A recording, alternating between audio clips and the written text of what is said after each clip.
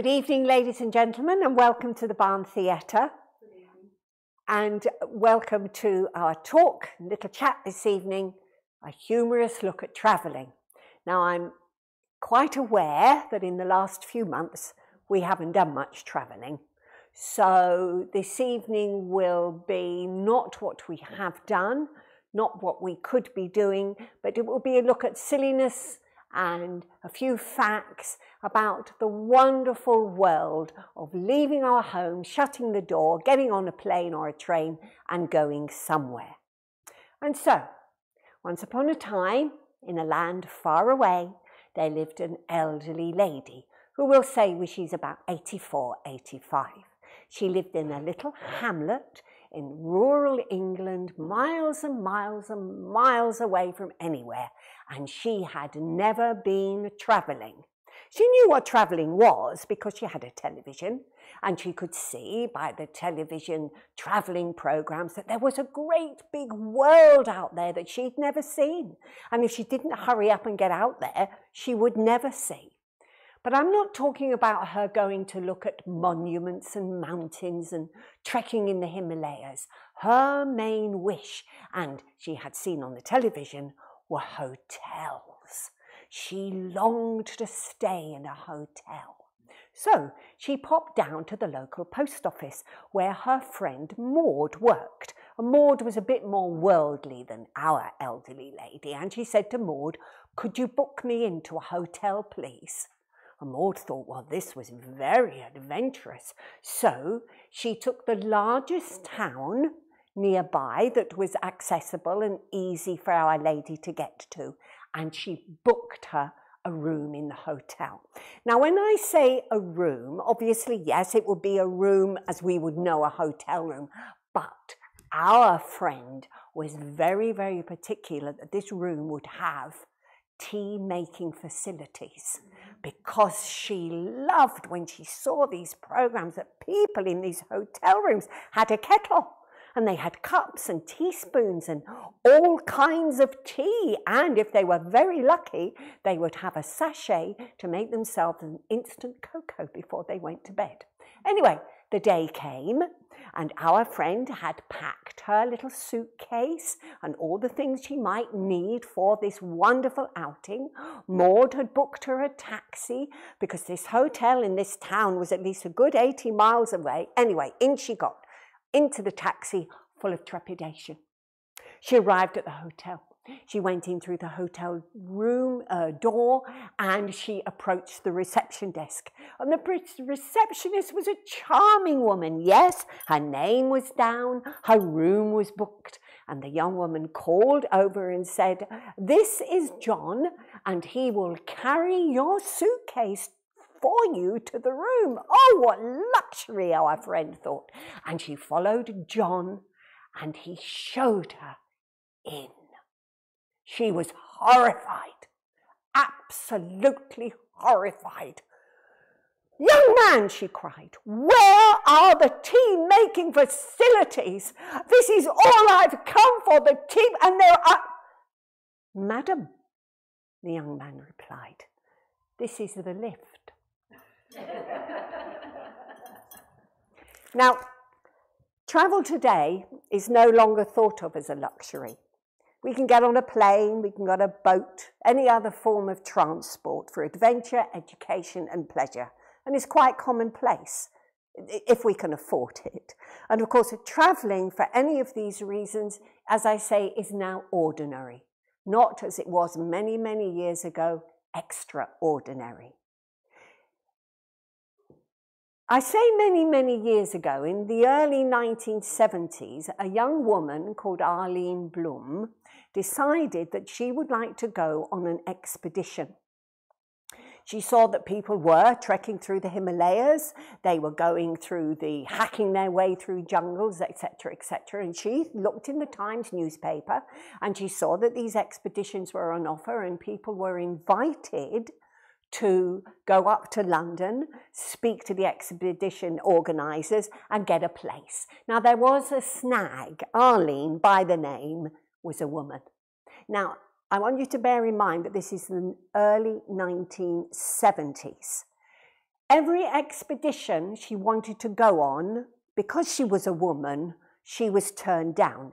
And these were the reasons. She wasn't allowed to go on an expedition to the Himalayas because her presence would upset the tenting arrangements. She was turned, turned down for a trip across Afghanistan in case she upset the mood of the men when they were socializing together. And she could not go to Alaska because she would become emotionally unstable at high altitudes. And she was far too ladylike to go to Russia. And finally, she was told that she would never she would never ever be considered to accompany an expedition because women became too eager and too excited. This, in turn, impairs their judgment, and she would become a constant danger to her fellow men adventurers. Needless to say, Arlene went on to form her own expedition company, which only had women in, and I'd like to be a fly on the wall if ever a man turned up to ask if he could come. So, okay, travelling.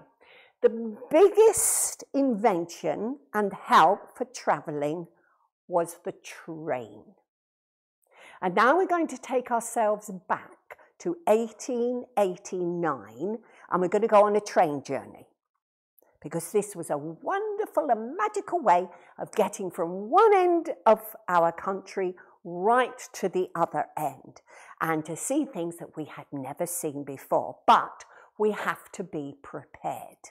Remember 1889. Victorian times.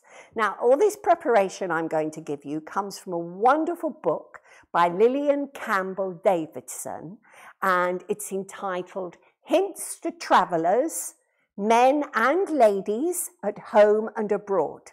And it's from this hint book that we can conjure up a picture of what it is like to travel then and how we must prepare. And prepare we must. So, first of all, we're going to determine that we're well off. Okay, we're well off and we're going to travel first class. We have a maid, although, of course, the maid will not be travelling with us. She'll be down the other end in cattle class.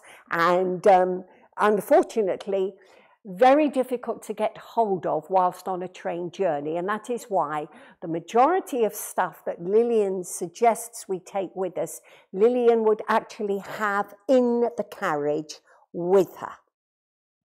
Now, so we're going to say we're going to go from King's Cross, which was a newly built, beautiful railway station, and we're going to go as far as the train can take us up to almost the top end of Scotland, and it's going to take days absolute days.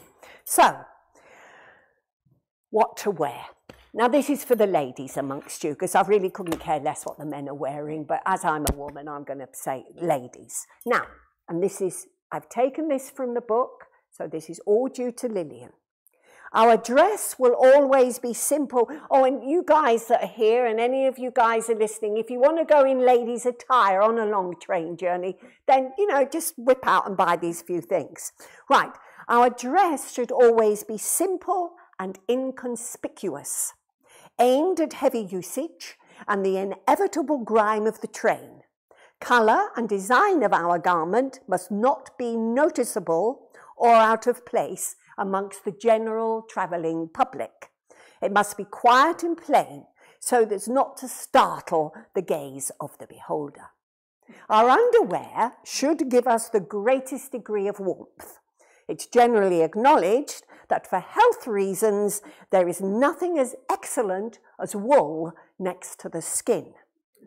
However, if the weather is very warm, then this thick-set wool can be replaced by merino wool, which is thinner, and it could be lined with Indian gauze for even greater comfort. And to be aware, ladies, that about this time, the boon for knickers was invented, and that boon was the double cotton gusset. Okay? All right. However, the drawback to wearing all this wool and undergarments is that is one is away from home the care needed in the washing of. So if you do have to use a washerwoman um, who might not know the needs of rinsing through your merino wool or your thick wool, it is best to have written out instructions. But the only problem is that the further up the country you get, the less likely it will be that washerwoman can actually read. So, so it would be a very good idea to take on your journey that will last these few days brown paper and string okay? So that when your soiled undergarments do get soiled and you can't wear them anymore, you can get your maid to wrap them up in the brown paper and the string, and when you're at a station, pass them over and they can be sent back home for the washing. Right, now stockings should always be woolen when travelling in the winter, and however, they can be replaced by silk in the warmer weather. And white petticoats are totally unsuitable for travel. So if you're going to wear petticoats, and of course you must, have it in a striped material and then it won't show the dirt so much. Your main gown, uh, most usable is a plain muted colour tailored gown of mixed tweed, dark grey or brown. And for the summer, a beige or good nun's veiling would be very comfortable. And the make cannot ever be too plain. Now, to complete our wardrobe, a close, short lace veil is great protection to our eyes from dust, wind, and flying cinders. And also, it enables a man not to have eye contact with us.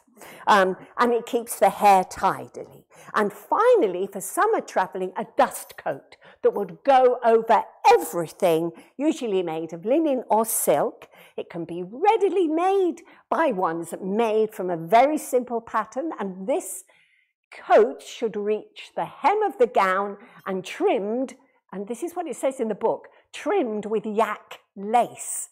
Well, what the hell is yacked lace? I mean, the only th reference I can find is, is a large domesticated wild ox with shaggy hair and large horns, and it lives in Tibet. But it hasn't got any lace hanging about it. Oh, and the boots, if you wear boots, they must be laced boots. They can't be button boots because buttons could pop off and land in very embarrassing places. I hesitate to think where a button might land. Now, when we go on holiday, we like to take things with us. My husband would say that when we went on holiday, I was prepared for every eventuality, okay, which I think is only wise because you never know. So Remember, we're still on our long train journey. And remember that all this stuff has got to be with you, men and ladies, in the carriage. Your maid's down there, you can have no contact with her. So this is what we're going to take. This is what we've been advised that we must take. Does anybody know what an Etna is? No. No. An Etna and we're taking this with us, is a small portable cooking apparatus which uses methylated spirits. And I'll read you what Lillian says about the Etna stove and methylated spirits. One of the most frequently felt wants in travelling is that of hot water. And it is a want which is by no means always as easy to satisfy as its simplicity would seem to promise, especially at night.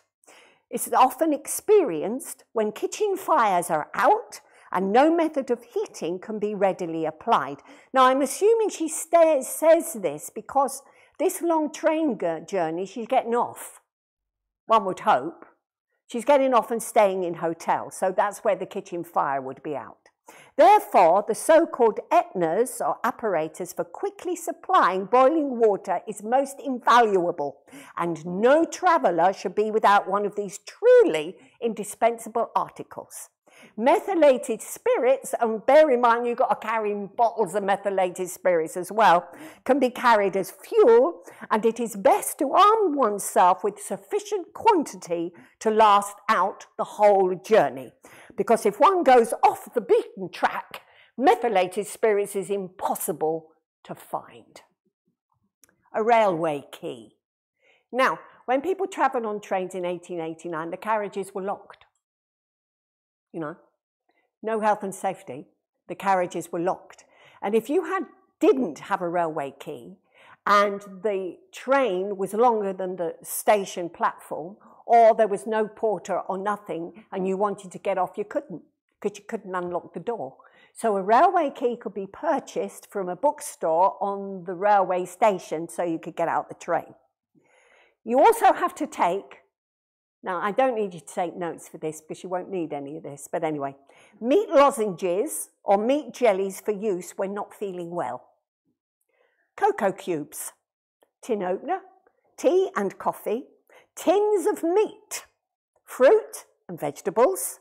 And Lillian points out that there's our particular use in the mountains of Wales, vegetables. I mean, for goodness, anyway, never mind. Uh, and, uh, and the coast of Ireland, and, and she refers to the Scottish Highlands. Soiled linen bags for our soiled linen. They can be purchased from Barrett and Sons, and they form a bit of luggage which is by no means unsightly, and the possession of which is a source of endless comfort to the traveller. And they also have the convenience of being, when full, posted back like in the brown paper and the string. Foot warmers and hand warmers of either tin or copper. A hot water bottle. I take hot water bottles everywhere. Mm.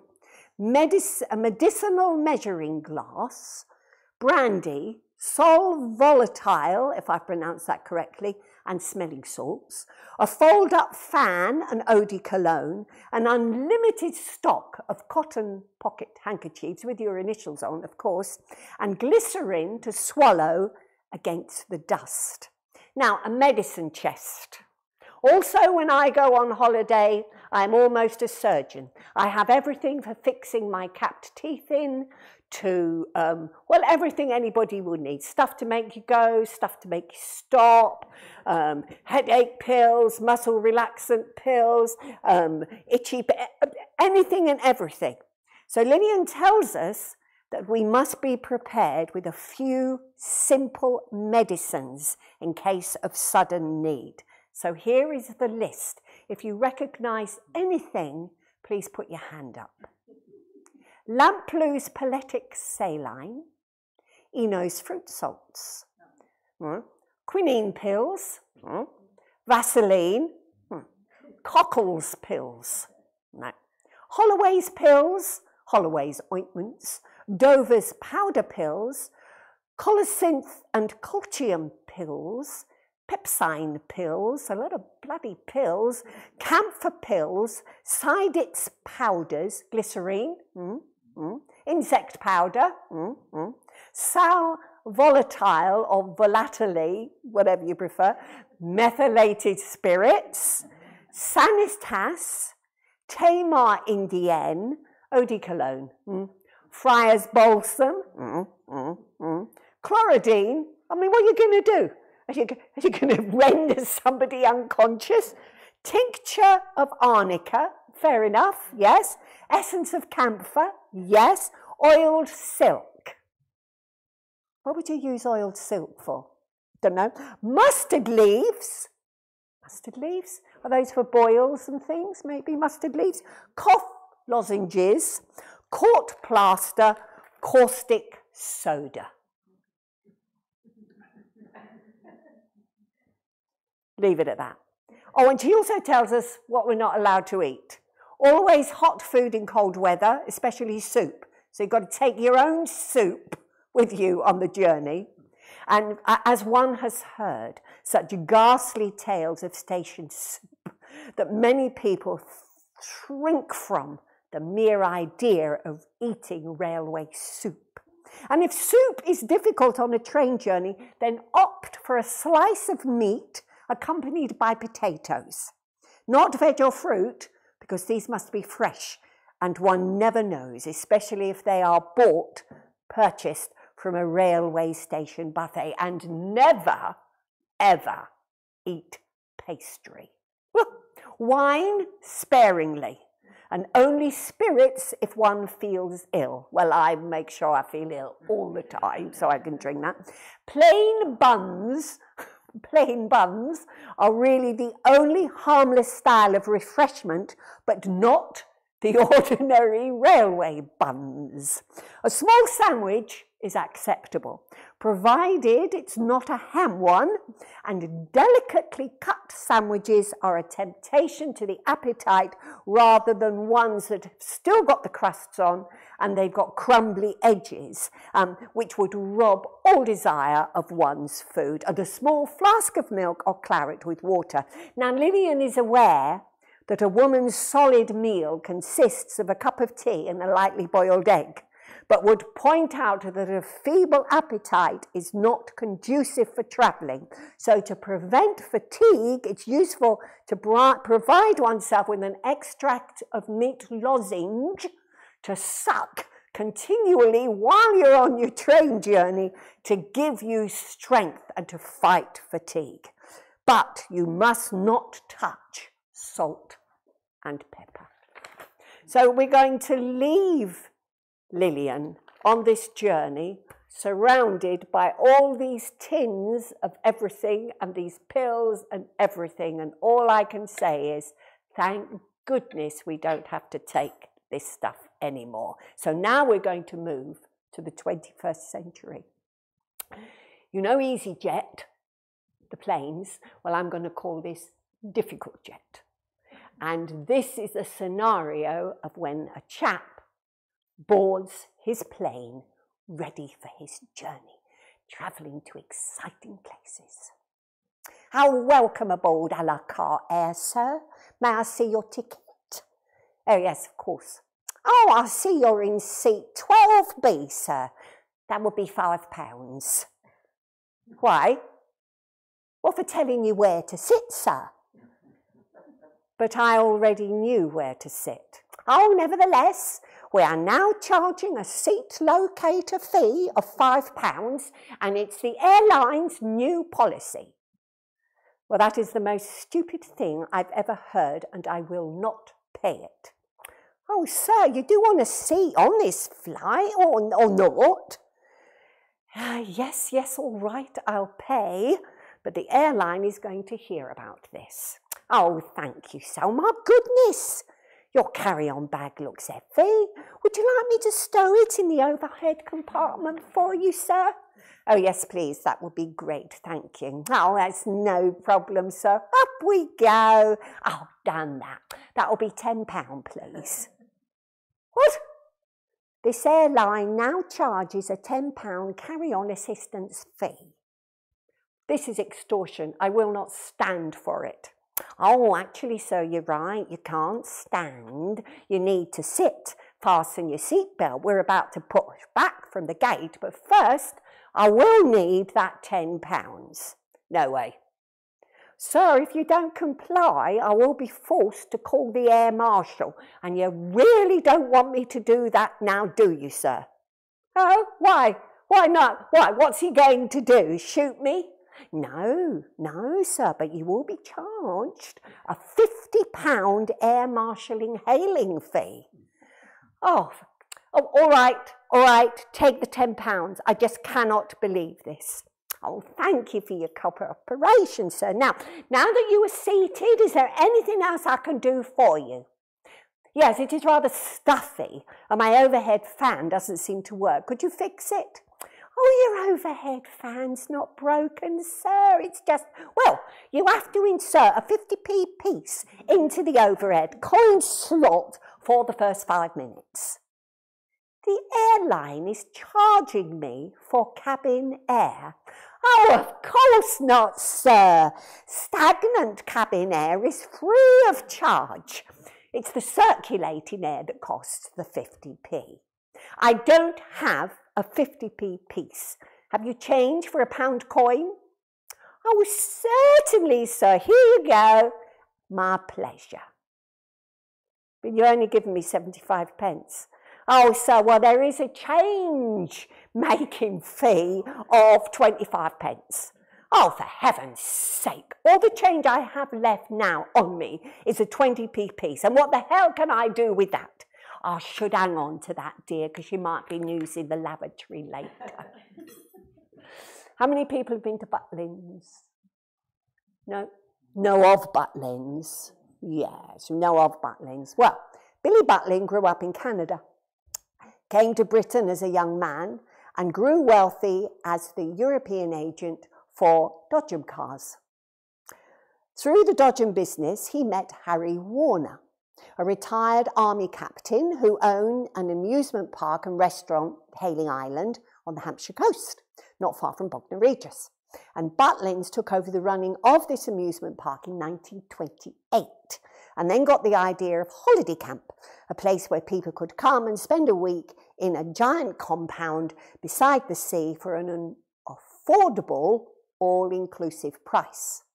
Now, on the site of a former turnip field just outside Skegness, he opens Butlin's first holiday camp in the country and others followed. Church groups, youth clubs and trade unions, they all opened camps. And the British Union of Fascists had two. Butlin's old associate, Captain Warner, opened several camps of his own, as did a businessman called Fred Pontin.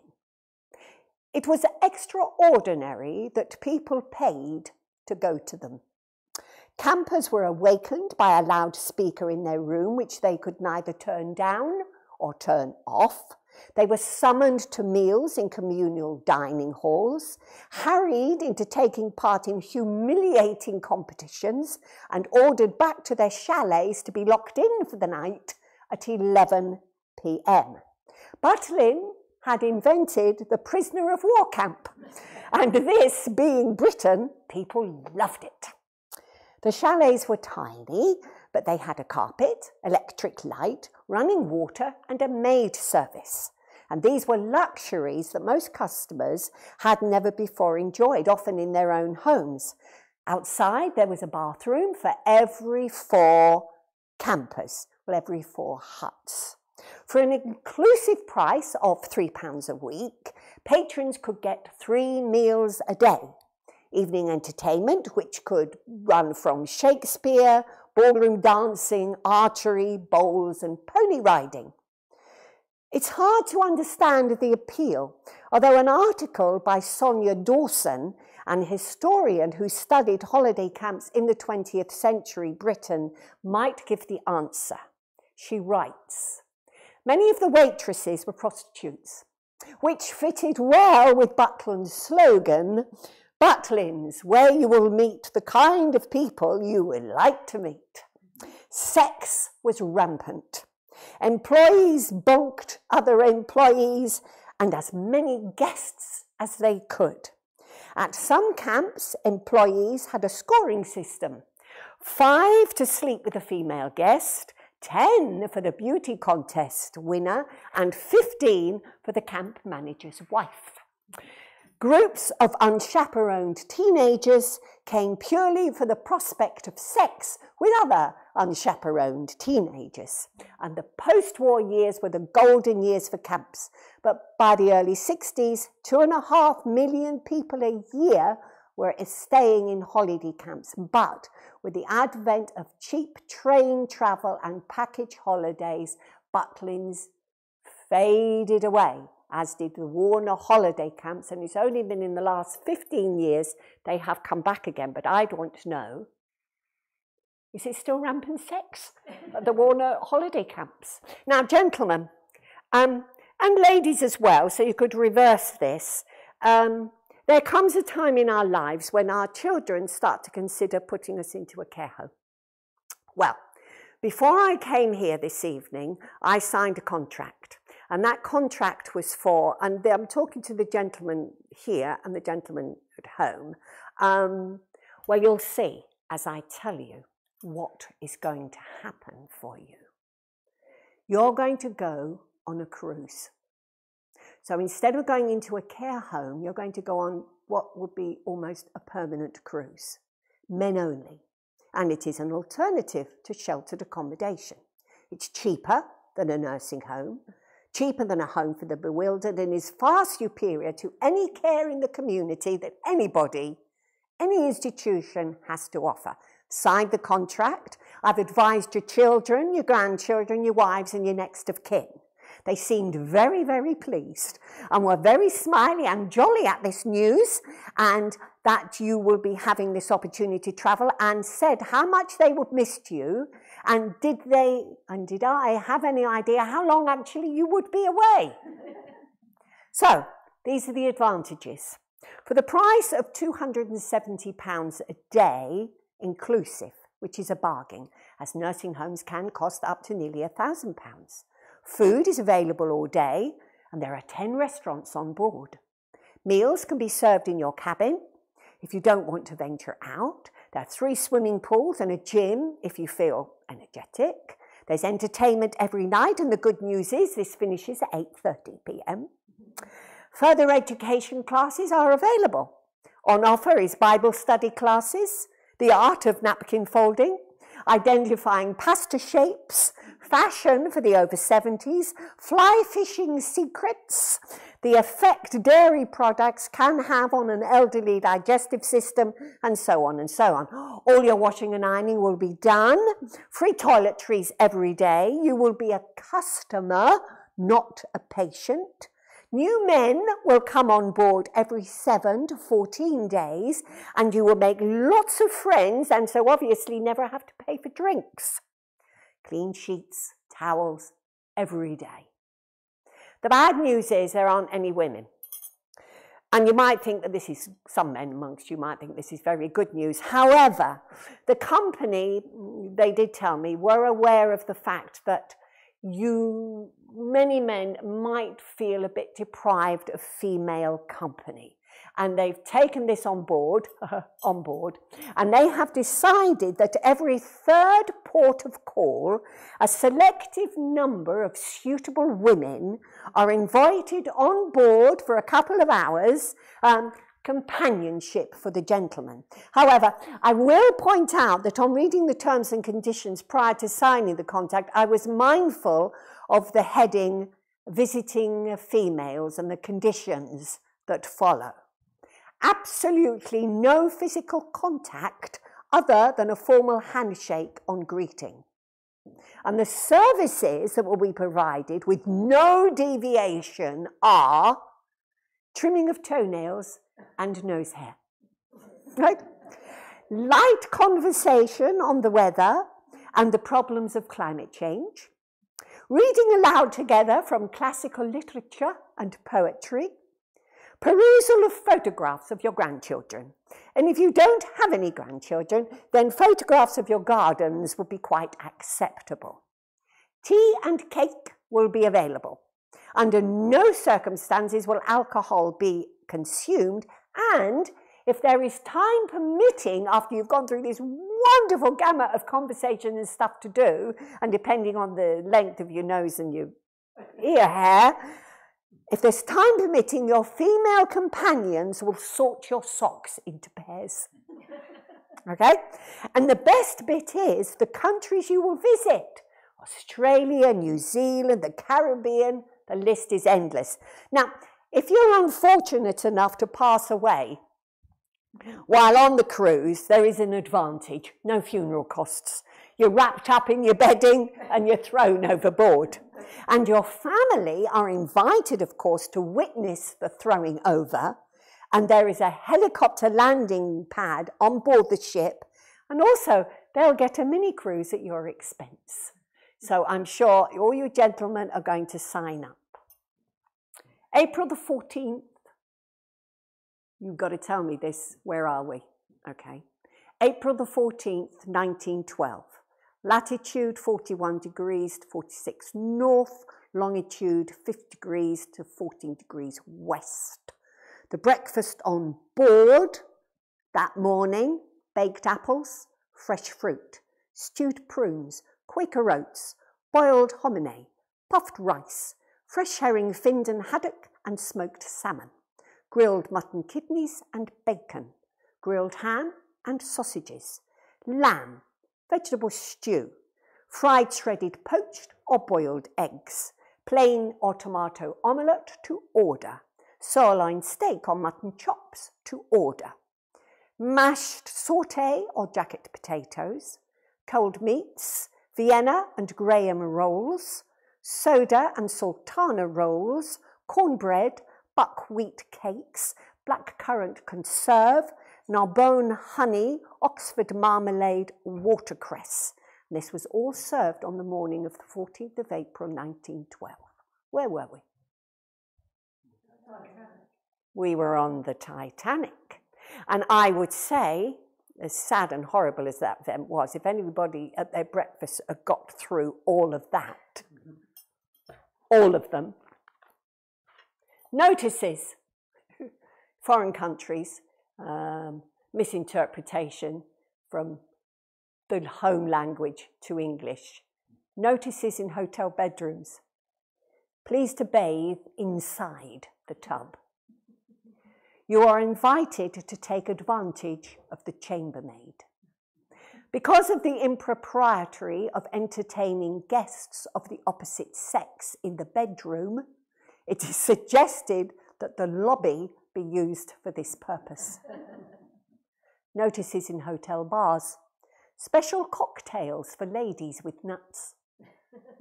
Our wines leave our wines leave you nothing to hope for. Special today, no ice cream. Notices in the hotel shop. If this is your first visit to Tokyo, you're welcome to it. Order your summer suit because it's big rush.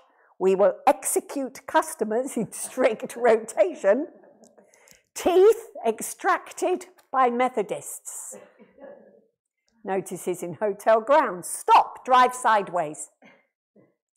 Please do not feed the animals. Give the money, uh, give the money, give the food to the guard on duty. Ladies, please leave your clothes here and spend the afternoon having a very good time. Take one of our horse driven tours we guarantee no miscarriages. Would you like to ride on your own arse? Spelt A R S E. Travel agents, people who've been on holiday and they ring their travel agent. I was bitten by a mosquito and nobody told me they could bite. On my holiday to Goa in India, I was disgusted to find that almost every restaurant served curry. We booked an excursion to a water park, but no one told us that we had to bring our swimming costume and towels. The beach was too sandy. Topless sunbathing on the beach should be banned. The holiday was ruined as my husband spent all day looking at other women. No one told us that there would be fish in the sea. My children were very frightened. My fiance and I had booked a twin bedded room, but we were placed in a double bedded, double bedded room. We now hold you entirely responsible for the fact that I find myself pregnant.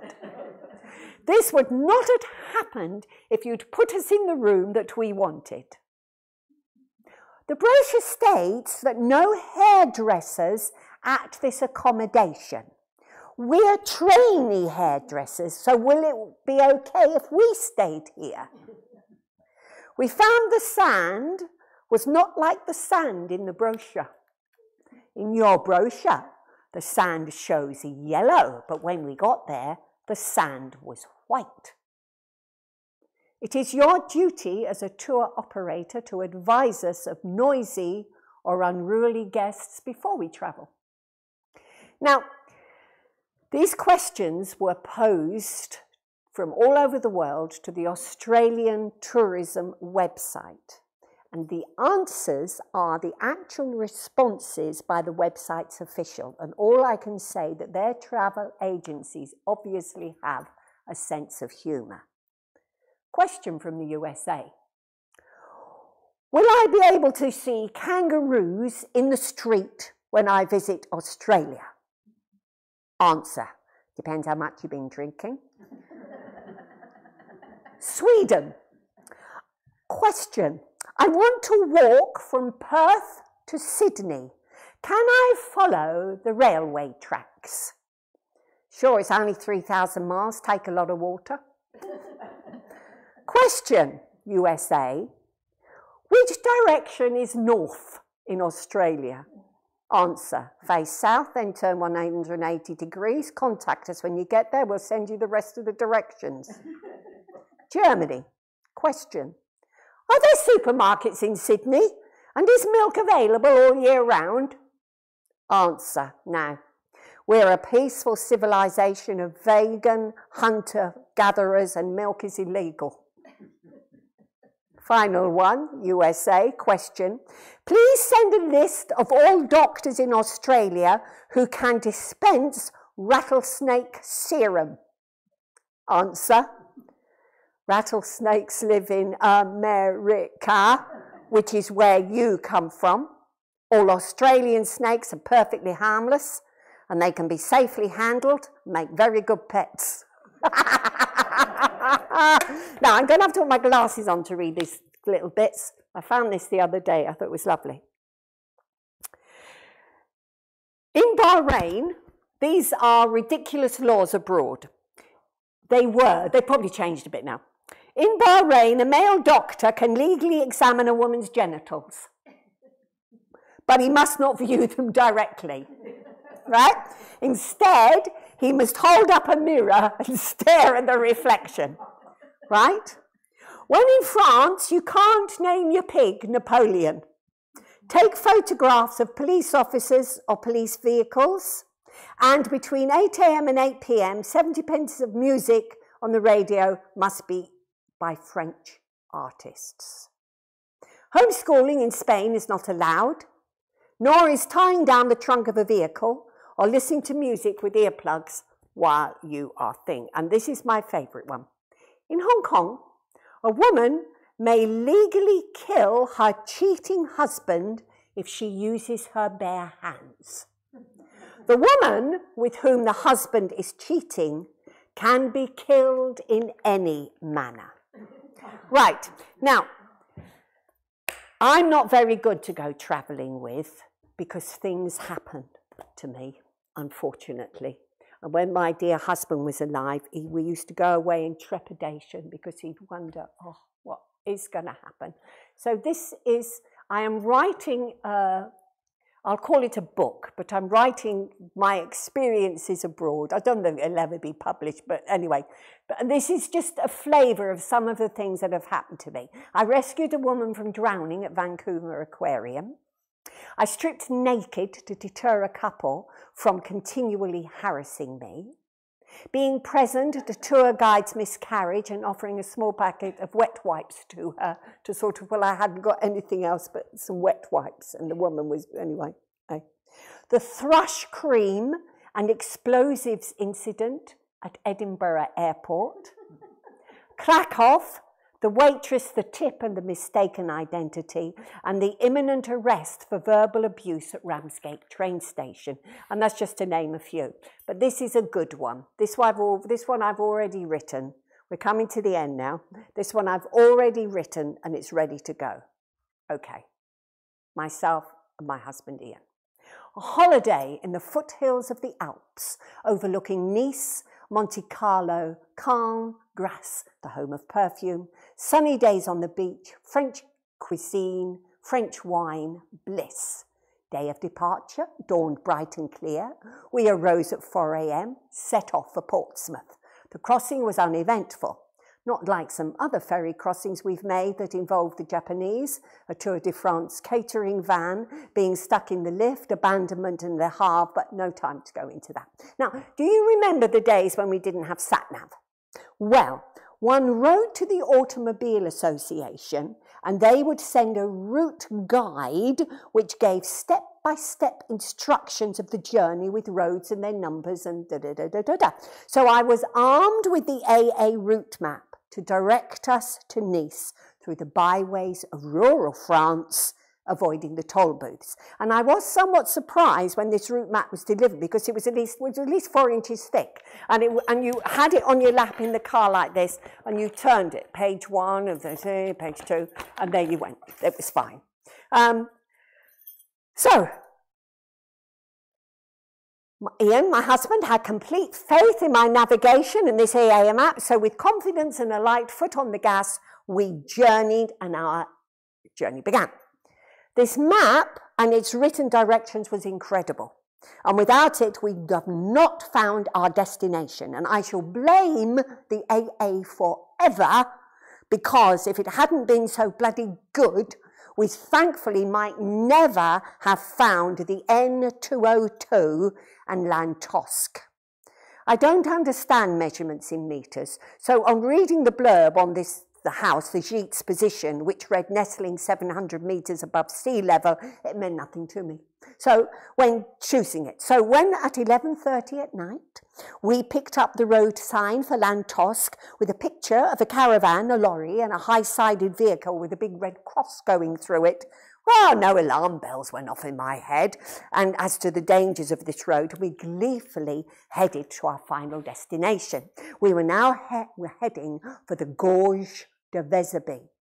Our headlamps picked out sheer drops of hundreds of feet with walls of ankle height for safety, hairpin bends and vertical rock walls towering above and over the road.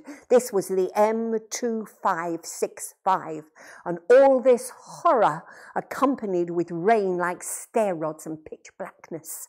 We could barely see ahead of us or behind us, and after three minutes of this, I was crying with terror and wishing I'd booked for Bournemouth. And at the same time, all too aware that to get anywhere, we would have to drive out and then back through this bloody gorge de Vesubie. Over the next few days, we drove to Nice to find the beach. We could see it, but we couldn't actually find the exit to get off of the 10-lane motorway to actually get on the beach. So after three attempts, each of which involved driving through Nice airport, we decided, sod the bloody sea, and sped, sped back through the nightmare gorge to the safety of our Gite. Consequently, spending the first week swallowing tranquilizers by the bucket load to get up and back through the gorge, not getting to the sea, not really going anywhere in the car as it meant going down thousands of feet or up thousands of feet, not going out at night because it was so dark. Um, the first venture out to a little local logie to try and find some blooming alcohol, my husband kept tripping over and falling down holes. And at one point, he fell six foot down this incline. And when I finally found him by the light of my little torch, he was lying in the Gite owner's pet cemetery. So, so we decided that we would stay in, stay home, stay safe. It was now Saturday.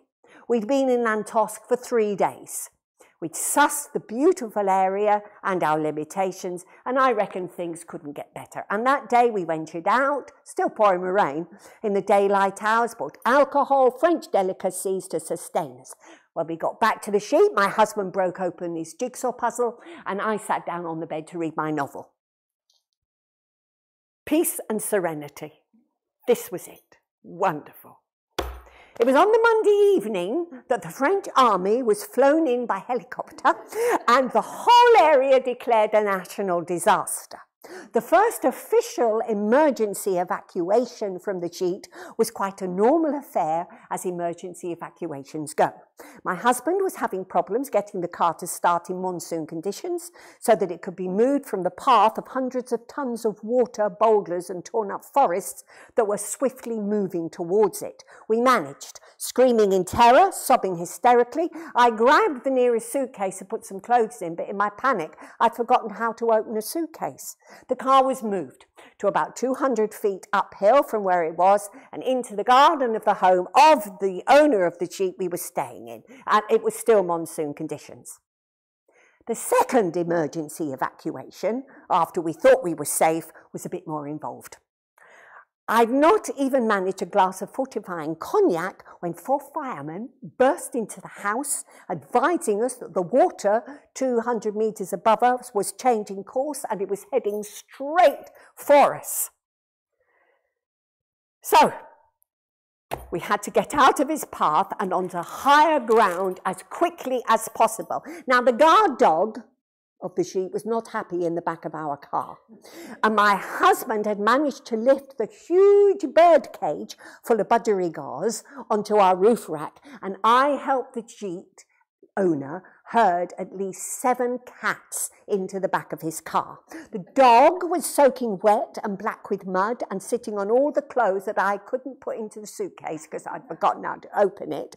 And the sound of the water coming towards us, I remember for the rest of my days. I mean, joking apart, it was awful. And also my bloody fingers because I couldn't get the wrapping off the toppies, toffees that I was feeding this dog to try and calm the dog down. And it was so anxious for the toffees that it was trying to tear the paper off of the toffees the same time as I was. And so it bit all my fingers and they were all bleeding. We were not washed away.